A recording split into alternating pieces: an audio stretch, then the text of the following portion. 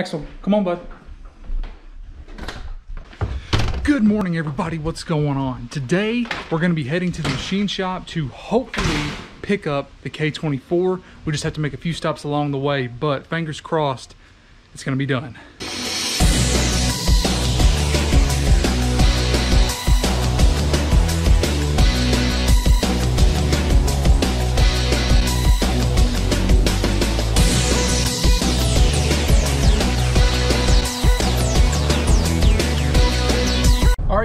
So I had to drop off Emery at my in-laws, and so we got to run to the bank real quick, and then we're going to be heading back up to the machine shop.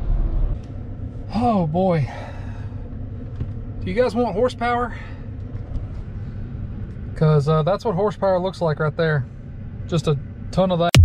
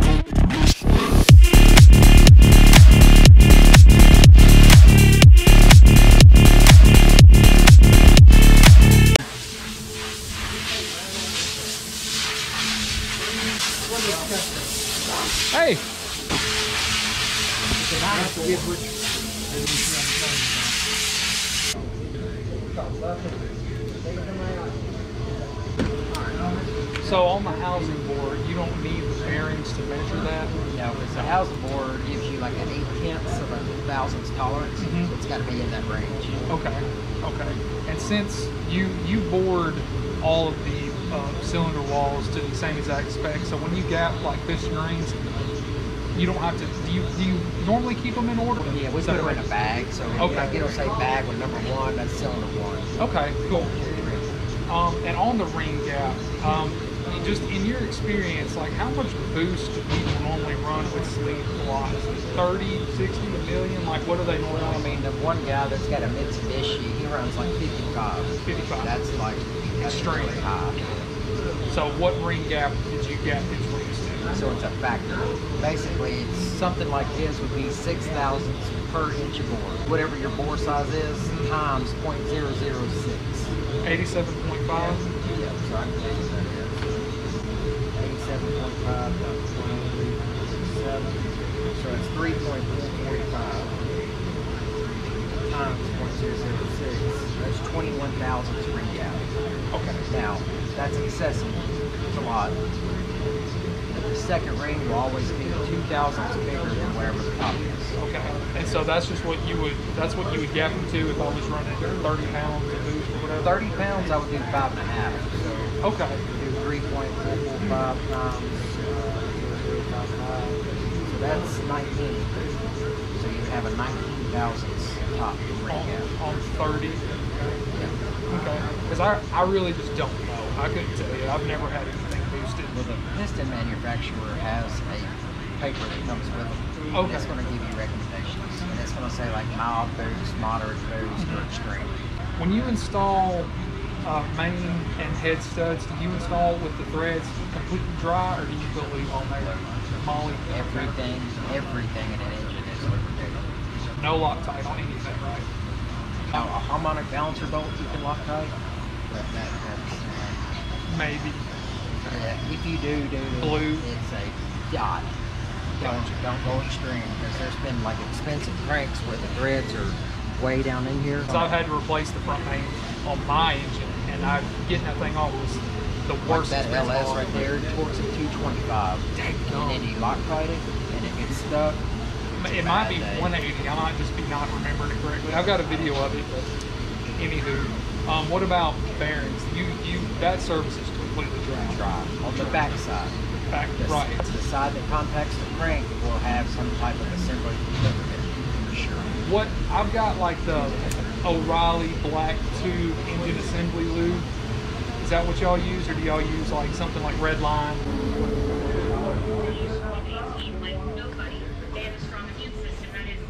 That right there. That's what y'all use It's called bearing guard.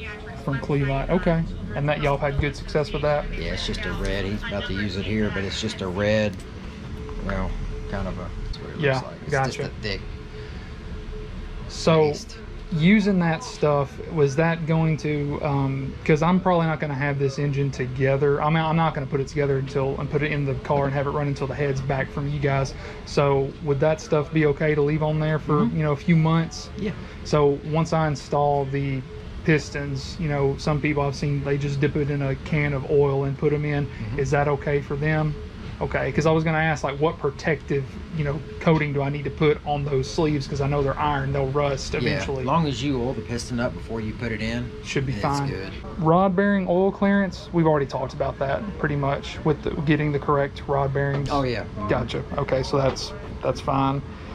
Um, with boost, would you have more or less bearing clearance? That's just a general question.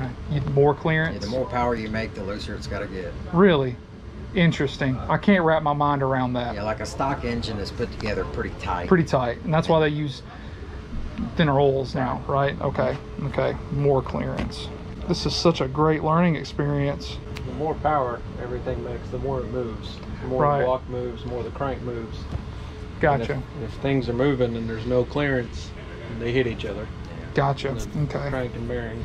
So as far as the break-in period is concerned, I mean, I know some people they build these engines and they put them straight on the engine dyno. Uh, I mean, is that in your experience? Would you do like a soft break-in, or would you just go balls to the wall? Don't go balls to the wall. Basically, just break it in with heat cycles, meaning like drive the car normal, get everything up to operating temp. Do that about three times.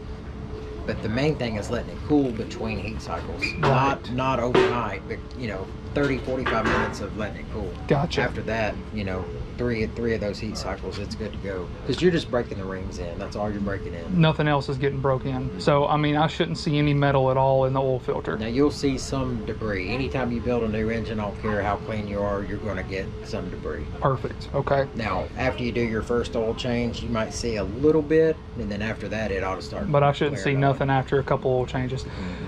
What oil should I run when I first start this bad boy up? So no synthetic. It's got to be conventional. Now, conventional meaning you can run anything you want to run. It doesn't matter really name brand, uh, but I would use a 530. And also, you can do synthetic in the future Yeah. after it's broke in, but not during break in. Okay. No like zinc additive or anything. No, Not with a Honda. You don't need that. Gotcha. Okay. I wanted to ask this after I gave you the head, but when I'm upgrading everything in the head, valves, seats, keepers, springs, you name it, but I'm not doing the cams. Uh, I've just heard that if you're going to do, I, I still want this to be pretty streetable, you know, and I've heard if you do cams, then you need to do, you know, get solid timing chain guides and a bunch of stuff, and it's just tougher on on you know the K series engines. But with getting like stiffer springs and things like that, will my stock cams suffer? Will they get ground down eventually? No, they should be fine. A lot of people just stay with stock cams. Okay. Unless you're all out like race, you know what I mean? Like you, you would do something different. But a stock cam, it's a street driven vehicle, mm-hmm. works absolutely fine. I still, you know, I want to take it to like track days, obviously, and, and do some autocross because we have that down in Huntsville, and we've got. I live right next to the drag strip, but it's just an eighth mile. Yeah. You know, my car doesn't get over 70 miles an hour on that eighth mile. Right. Uh, so, but I'm hoping, I'm trying to get those times way down, obviously. Yeah. In your experience, do guys normally use factory um, timing chain tensioners? Because I, I know there's a lot of aftermarket companies like Skunk 2 Hybrid, they make their own double ratcheting system tensioners. Is Honda okay? A tensioner is something I would consider upgrading Okay. over the factory Honda. Yeah, the ratchet type is kind of what you want to go with Mhm. because the factories will, they will plunge back in. Right. Like if it sits over the weekend, doesn't get started, the Mhm. hydraulic pressure it'll bleed off. Okay. All right. Because I've looked at getting some of those like gnarly four piston racing timing chain guides, and then they said that they're 850 bucks, and I'm like, never mind. Yeah. I don't want it to jump time and then bend a valve and I then think all that stuff, like factory stuff, would be fine except the tensioner. tension. Okay, that's what I figured. Believe me, there's a lot more to it than just an engine. You know what I mean? Like there, you know, your tires and the drive line, and you. Oh yeah, I'm I'm like I'm basically planning on just destroying an axle. Like I mean, like I, I'm afraid as soon as I get this engine in here, get a good tune on it, you know, get it, you know, what I to you know, drive it enough to where I feel reliable with it, or it, it feels reliable to me. Clutch is going to be wasted. Trans is going to be wasted. I'm going to have to do all this other stuff. Yeah, the trans usually hangs in there, but clutch and axles, that would be a, a weak point. Any other advice you can give besides just letting you guys build it? No, I mean, because it's pretty straightforward. I mean, you're over the a lot of the obstacles. Great. That's wonderful. That's great to hear. I have money for you today, by the way. and thanks for letting me film too. I know you. What are you doing up here? Dave it's Upholstery. I worked at O'Reilly's. In- What's going on, I the man? face looked familiar. I couldn't place you. what are you doing here? Uh, picking up a block. Oh, I'm. I wish I was. They're doing some work for me too. I work up here in Brentwood. So. Oh, okay. You moved out of. No, I still live. I just work in. Oh, okay. So you make a long drive Make a long like drive every day, like do. Galen does. Uh, Man, it's so see- cool to see you, man. Like I said, I knew I knew the face. Yeah, yeah, it's been a couple years, man, but I never forget you coming in O'Reilly's all the time. Yeah, I still go in there all the time. hmm So, man, it's so cool to see you. It's good to see you. yeah. Hope I hope everything's been well with you in these crazy times that we're in. Yeah, yeah. We haven't had any issues at all. You still doing upholstery every now No, and I don't have time. Oh yeah, okay. I'm working full time up here, so you know, the time I get home, I'm, I'm used up. Hey, I'm glad I caught you before you got out of here. John, yeah, he's been talking to me. I've been asking him a million questions. Oh, I know it. I know it. I try not to bug him too much. I'm probably the the least intelligent person in the room. Right. Awesome, because it said it was a custom kit. Yeah, what it is is some of these things will fit other engines, but they don't want you to know what engine it fit. Right. Yeah, because I tried to find these part numbers and just order from Summit or something. Because I, if I'm not mistaken, I think those are going like a Jetta, a Volkswagen, or s- something. Yep. I don't know because it's got like that weird W-shaped engine, and those fit that that application. But anywho, do you need anything else from me? No, I just need to get those in, get that torqued on, check it, and I'll let you know what happens with that. And other than that, do the ring gaps, and that should be it. Yes, sir. I don't think there's anything else I can buy that you're gonna need. Yeah. I don't think so. I've replaced every bolt with a stud and every sleeve with a sleeve. I uploaded the video of the last time I was here, but the whole time I was the whole time I was filming, I was talking to you and I had the camera Oh, like yeah. this, so I wasn't like pointed at us or anything. So Okay. Yeah, no problem. awesome, dude. I appreciate you.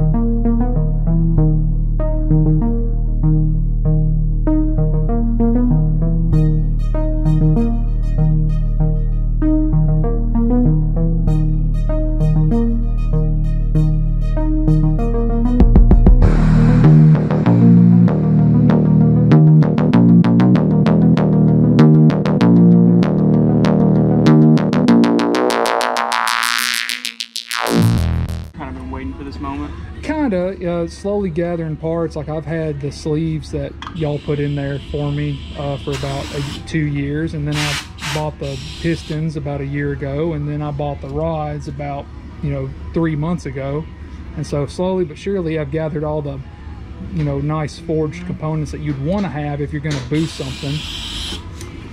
So yeah, it's definitely just been a process, but I mean, I'm, I'm happy with it, and I know it's going to be able to take almost anything I throw at it.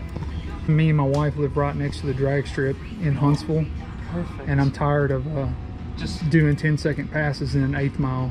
It sucks. Like my dad is like, now you be careful at that drag strip. I'm like, Dad, I, my top speed is 65 miles an hour. I mean, how how much more careful do you want me to be? you always got to remember, um, see Honda, so it's a lash adjustment. Um, I mean, yeah, I mean, if you have that lash adjustment set correctly, hmm cam failure shouldn't really be a big issue Gotcha. at all.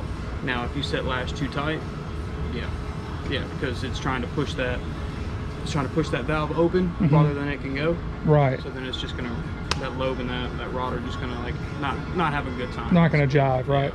See, because you saying that makes sense to me. Mhm. They're You too tight. All valve train, Yeah. it's going directly off the cam. Yeah. All of it. hmm Any type of, I mean, when it moves, the cam's moving. When Right. The valve's opening or closing, the cam's moving.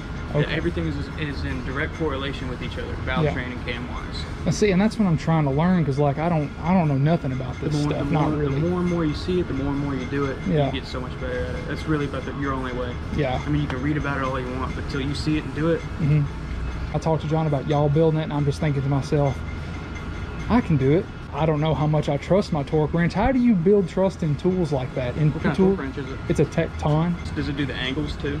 It does not do torque angle, but I upgraded everything to ARP studs, so Okay, I shouldn't okay. have to do torque Nope, angle. nope, you shouldn't. So Um, no torque to yield bolts in this thing. Like I'm trying to make the most bulletproof block I can. Um, I mean, it's really up to you. Uh, if it's got good review, how old is it? 'Cause I, bought it maybe five months ago. Oh yeah, I don't know. I know you can get them recalibrated, but I Mm-hmm. don't know who threw for you. I know because I've got the snap-on, and they do angle and. Well, see, that's the thing. Like, uh, would you would you say that the the price that you spend on a torque wrench is a direct correlation to your amount of trust in it? I mean, could you take a forty dollar, fifty dollar torque wrench and be happy with it, or do you need a five hundred, six hundred dollar $600 snap-on? Would you have more trust in that because of the amount of money you spent? Snap-on. I have a lot of trust in Snap-on per se. Because you've used it. Yeah. Yeah. Because I've used it now. I built a um, 6.2 LS, uh, and I had, to, but I built it all back to stock. I didn't do any A- ARP or nothing, and I had to buy the angle torque wrench, so that's why I got it, and I love that thing. I mean, Yeah. it's absolutely amazing. And that's the snap-on. Mhm. And it's three all digital. too. Yep, all digital, three eighths. I didn't even, I didn't, I didn't need the half inch until I had to torque the cam phaser back on. Mm -hmm.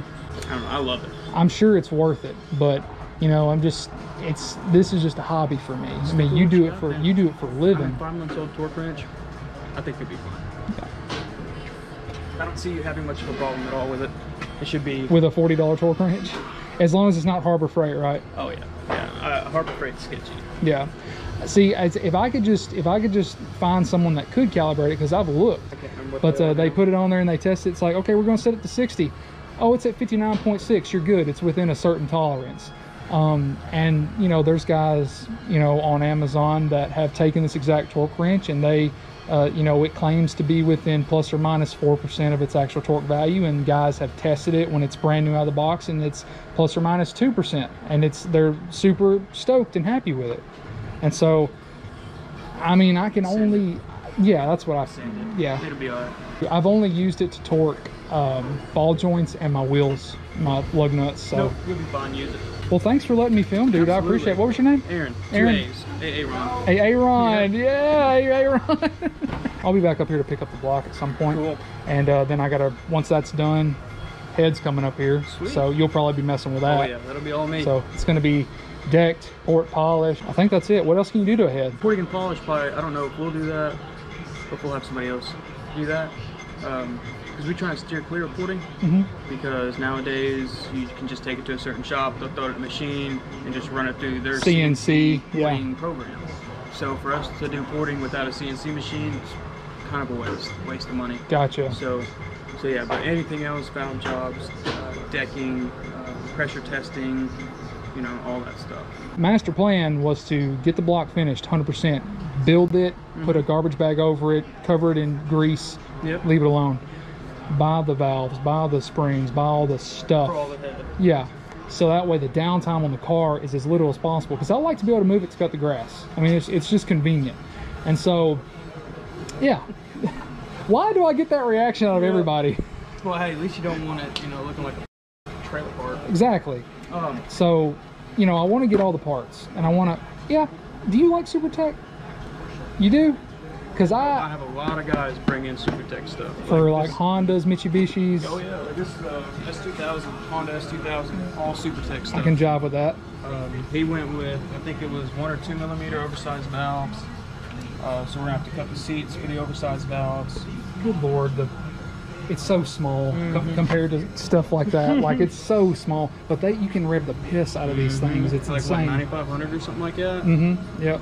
That's my plan. My my current rev limit's about 9200, but I got a I got a four piston racing ported oil pump, and they say that that sucker won't cavitate until like past 11,000 RPM, which I don't know if I'm going to push it that far because it probably won't. It'll probably stop accelerating at like 8,000 RPMs. Who knows?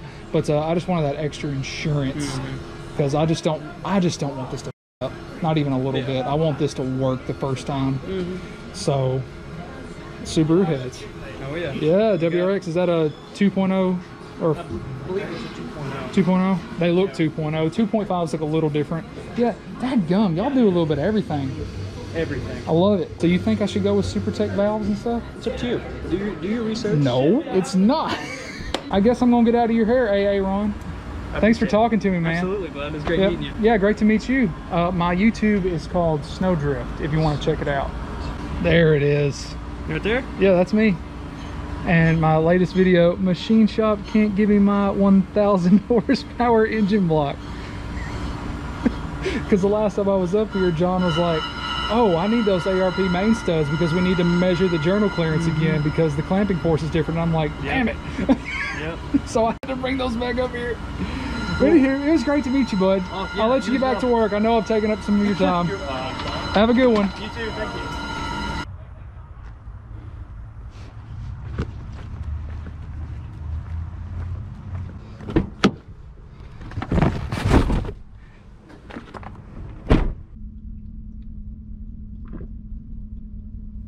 Got a lot of really good information today, you guys. Like I'm, I feel like every single time I come up here, I meet someone new and exciting.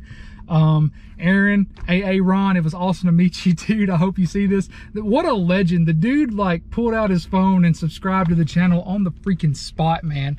Uh, I'm, I'm super excited. Like I can't even, I can't even like relate to you guys how excited I am about this stuff. Cause like, I don't know none of this stuff.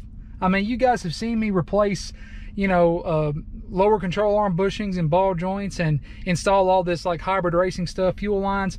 I mean, bolt on stuff, anybody can learn how to do that shit. Anybody can. This is like super, like highly elite stuff that's going on with this engine. And the things that they do here is just utterly incredible. Uh, I'm, I'm so excited to, to get the block back, learn how to build it. And I know that none of them are going to leave me hanging along the way. Like if I have any questions about anything, there, I mean, John answers all my questions. Bottom line is, is I'm stoked. I am so utterly stoked. So gonna head back home now. Um, paid John the almost all the money. Uh, I owe him a little bit more, uh, but uh, he's got to uh, check the journal clearances with the ARP main studs, torque down, bolted down, all that good stuff. And uh, he's got to gap the piston rings for our boost application. After that, that is it. Block can be assembled. The entire rotating assembly is done.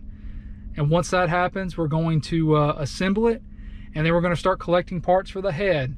And uh, that's probably going to take a little while, but uh, I'm going to get it done uh, as soon as I, you know, as soon as I possibly can. So thank you guys so much for uh, watching. Uh, if you liked it, make sure you share it. Hit the uh, notification bell to stay up to date with all my upcoming videos for my 1000 horsepower K series. Uh, remember to share the video with your dog and I guess your family and your friends. They don't really mean as much to me as your dog does. Um, eat your vegetables and have a great freaking day.